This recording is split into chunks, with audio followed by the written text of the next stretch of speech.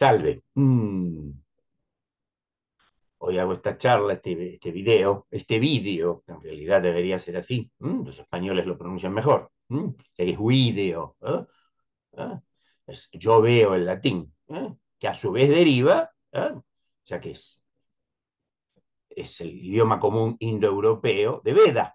Los Vedas hindúes o indios, como debe ser dicho más correctamente, Veda quiere decir visión, veo.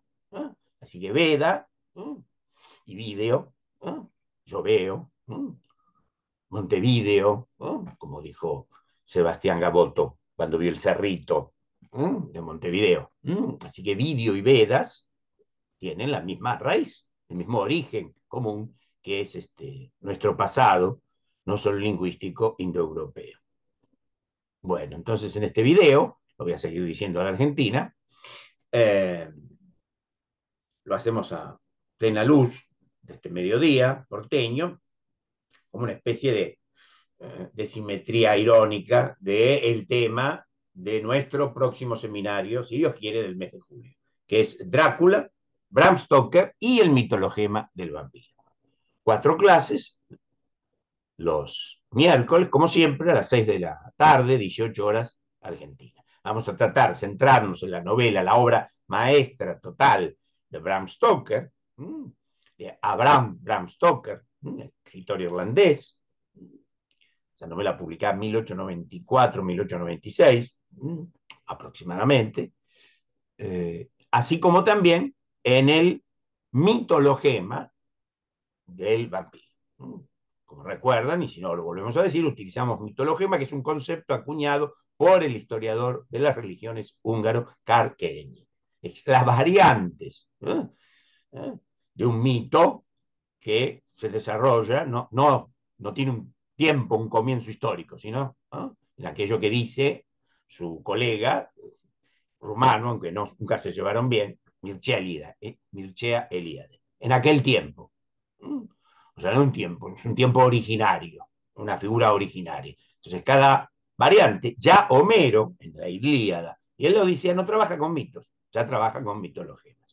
Y bueno, veremos el del mitologema entonces del vampiro. Mm, así como intentaremos este, recorrer otros relatos y poemas, obras narrativas y poéticas con respecto al mitologema del vampiro. El relato de John Polidori, que es el primero que se conoce, que participó de esa ya legendaria reunión hacia 1816-17 en la Villa Diodati, donde también concibió, tuvo ese primer atisbo, esa énide este, de su novela Mary Shelley, Frankenstein, a la cual estamos dedicando el seminario de este mes, curso de junio, eh, el relato de John Polidori, el poema o la balada, las dos partes de la balada, que va a ser en, en cuatro partes, pero Coleridge lamentablemente no lo terminó, eh, el Lauda no pudo más, eh, que es Cristal, una maravillosa balada, de tema vampírico. También el relato, la novela, novela breve de Sheridan Le Fanu, otro irlandés, que se llama Carmila. Y una novela este,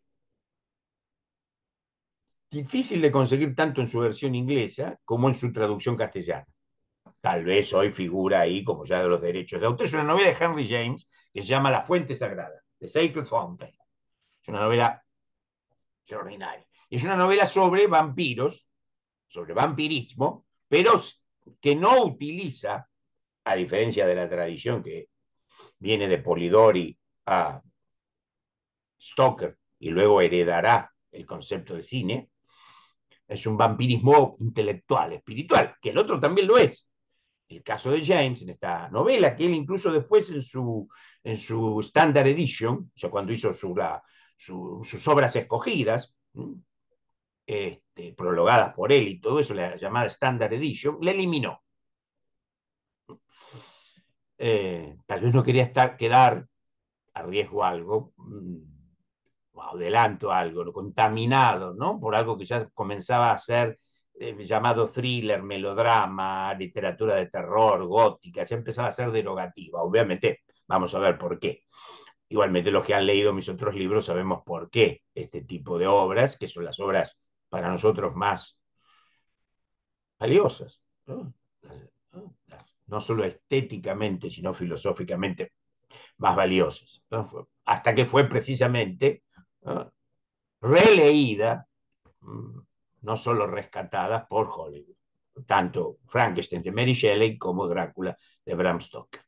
Pero también, si pueden acceder a una copia de The Sacred Fountain, la fuente sagrada de Henry James, hay una sola que sepa traducción castellana o española, de hace muchos años, de editorial, este, ¿cómo era esta colección? Este, Espiral. Mm. Creo que no hay ninguna otra traducción. Mm. Eh, pero posiblemente figure en, no soy muy ducho en esto, pero seguramente puede ser que figure en Internet ya que los derechos están libres hace mucho tiempo. Mm, que es una novela donde, de vampirismo, pero donde elimina, digamos, la parte, digamos, la simbología quiróptera, tomada de los murciélagos, la vida nocturna, el alimentarse de sangre y todo eso. Es una variante muy poco conocida del mito o del mitologema del vampiro. Y desde luego las versiones cinematográficas, ciertas versiones cinematográficas, desde luego, ¿no? Obviamente la de, la de Todd Browning y eh, alguna otra, eh, pero sobre todo especialmente una de Terence Fisher, que creo, sostenemos, es una de las mejores versiones de Drácula o variantes de Drácula de Bram Stoker, que son The Brides of Drácula, las novias de Drácula, de los años 60, de la Hanna. Así que vamos a hacer un recorrido de estos temas. Como de costumbre, los que ya me conocen, me han leído, asistido a otros seminarios, visto mis charlas, estos temas son el pretexto del texto que es desarrollar nuestra eh, filosofía del arte, nuestra eh, estética, nuestra teoría estética, nuestra teoría crítica, nuestra hermenéutica. Que, repetimos, su eje, su razón de ser, lo fundamental es no separar, como se, suele hacer, bueno, vimos la época de las separaciones, ¿no?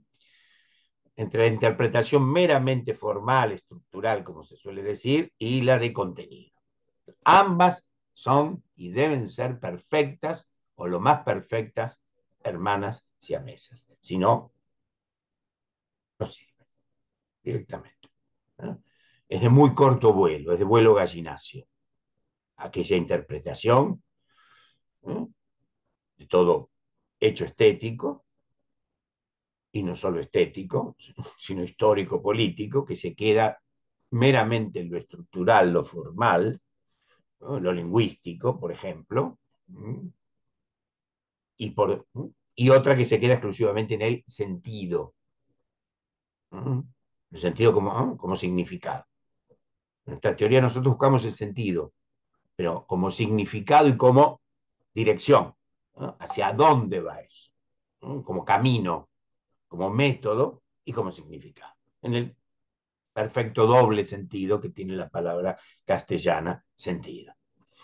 Bueno, así que los invito eh, para julio, los miércoles de julio, en el horario habitual, a las 6 de la tarde, 18 horas, hora argentina, sobre eh, Drácula, Bram Stoker y el mitologema del vampiro. Mm, tal vez hagamos alguna otra charla, videocharla, eh, para ir agregando algunos temas y para no hacerlo todo esto tan, este, al menos para mi gusto, temo siempre este, sobreabundar en temas, en detalles, en devaneos, y que esto se, sea no lo que debe ser. Ser algo placentero. Placentero y también un trance existencial. Que eso es el arte. Mm, Farita, ya te estás. Sí, sí, ya me estoy yendo. Mm, mm. Bueno, quedamos así entonces. Pues, hasta la próxima. Gracias.